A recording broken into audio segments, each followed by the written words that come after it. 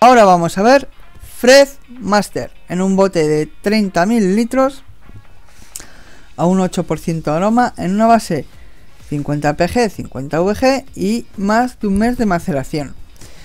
El fabricante nos dice que es, bueno, uh, nos dice uh, lo que yo digo, el fabricante lo que quiso hacer es en esta versión 1 es un estilo a un, a una, versión al, al de, de Juice.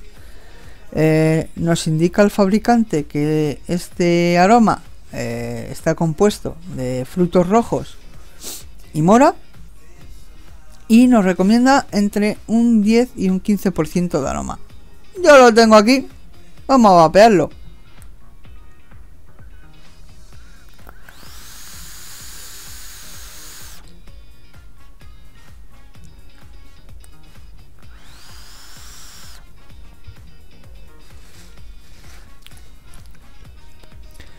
Es un aroma que lo que más predomina son los frutos rojos. Los frutos rojos en este aroma mmm, predomina muchísimo. Luego de fondo lo que notas es el sabor de las moras. Y en medio lo que notas es eh, un sabor a eh, uva negra. Eh, es un aroma bastante dulce. No tiene nada de frescor y si notas, pero muy. Eh, muy. casi. casi. Mmm, que no, no se nota.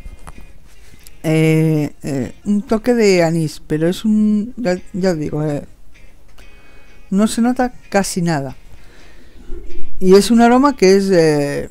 Mmm, bueno, una versión más de todas las que hay de, de los Rezastais de, de, de, de Teyui, vamos no es malo en, en, diferencia con la versión 3 de, este mismo aroma eh, la versión 3 llevaba si no recuerdo mal eh, eucalipto dulce llevaba también eh, frutos rojos no llevaba moras pero sí llevaba lo que son las uvas negras y además llevaba un poquito de mentol este eh, es uva negra, moras, el toque ese que, que me da de, de, anís que casi no, no, no lo notas y los frutos rojos.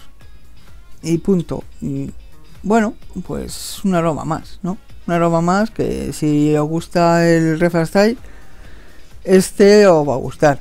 Este, ya te digo, es eh, pues eso tanto este como el Revolution como o sea el Fredmaster Revolution como la versión 3 del Fredmaster es, eh, son diferentes versiones pero emulan o, o, versionan a un Refastyle